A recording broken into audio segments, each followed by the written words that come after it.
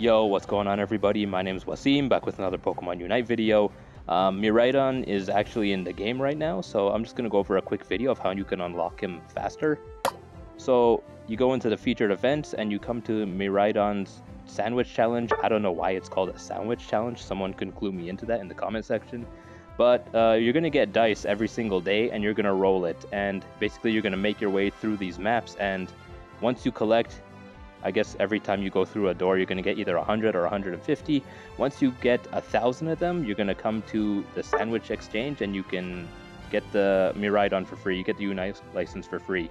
So you get one dice every day, but what you can actually do is uh, go to the Dancer event and you come here, you can get three extra dice. So it'll help you progress along faster. And another thing you can do is go to daily events what you're going to do is play Panic Parade, as you see Panic Parade right here, and you go check, and you go to the event point shop, and see there's four extra dice you can get. You need a thousand for each one, so you're going to need uh, 4,000 points to get more, uh, to get all of the dice, but uh, after you do that, you'll get four extra rolls. It'll help you progress through it faster.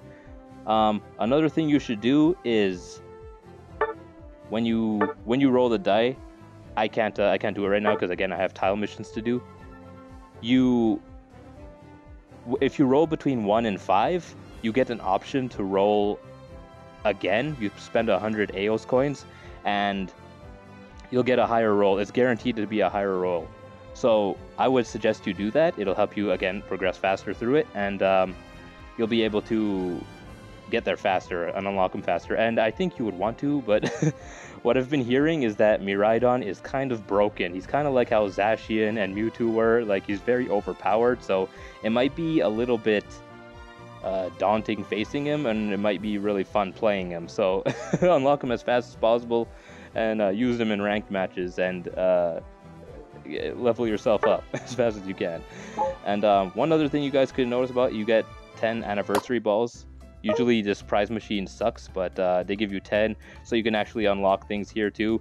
Um, what I do is I actually wait for the golden emblems. I think these things these things are this 40 for example, this sunshine style thing for Venusaur is kind of out of reach. You could possibly get this uh, tuxedo thing for uh, or the vest for Charizard, but I actually wait for the gold emblems to come up, and I only use them on the gold emblems.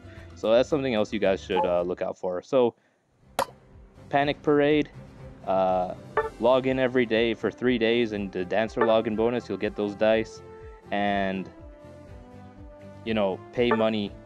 the, the Aeos coins every time you roll, and uh, you'll be able to progress through this as fast as possible. So uh, give this video a like if it helped you out and subscribe. It'll help me out too. And thank you so much for watching. I will see you in the next one.